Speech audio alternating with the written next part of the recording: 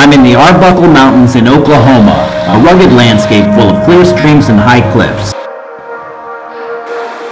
I camped in the area the night before and had been planning on visiting Turner Falls, one of the state's most iconic outdoor attractions, but was told that the road leading to the falls was blocked off and that the falls were closed for the winter.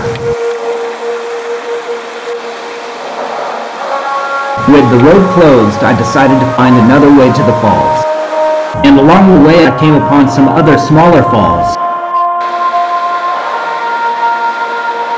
I'd heard there were lots of caves in these mountains, and this hole looked promising. Unfortunately, it was shallow and didn't go anywhere.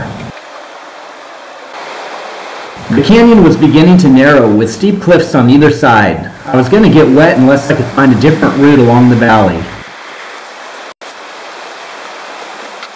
I decided to climb up onto the cliff in hopes of finding a ledge that would allow further progress downstream.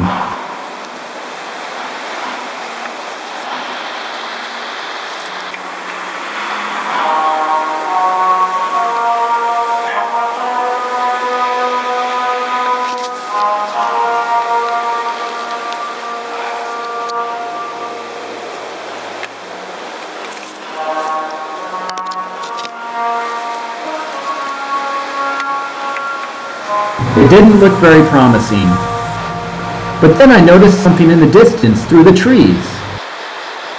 It was the top of the falls, and beyond that I could see the tourist walkway at the bottom of the falls. But how to get there? I noticed a small opening in the cliff and decided to check it out.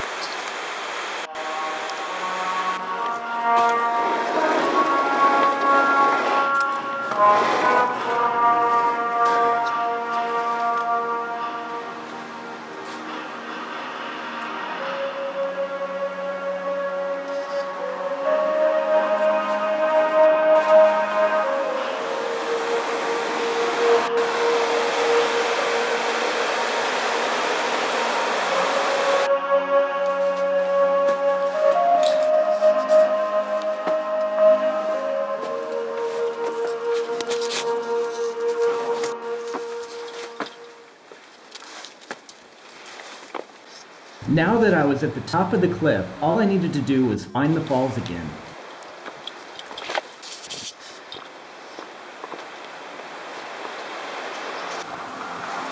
And there it was, but it was a long way down.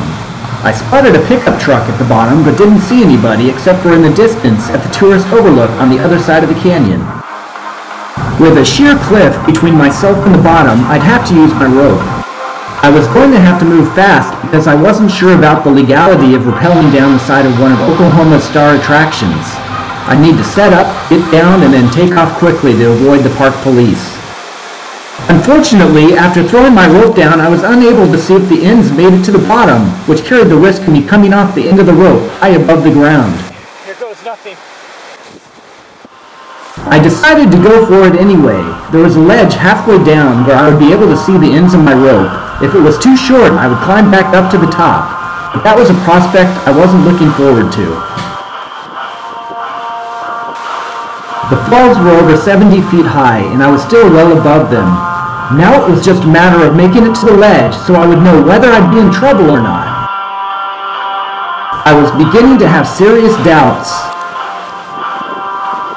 Finally, I made it to the ledge. Was I going to be stuck or not? I can see the rope at the very bottom. So I'll be able to make it all the way. Here I go.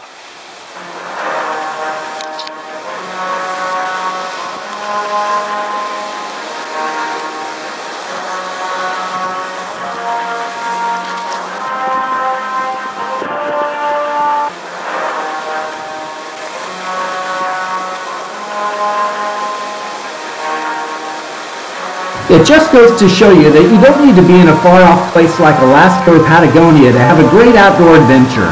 Oftentimes you'll find more than enough in your backyard if you just make the effort.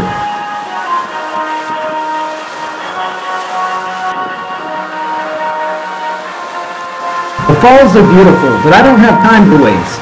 Gotta run.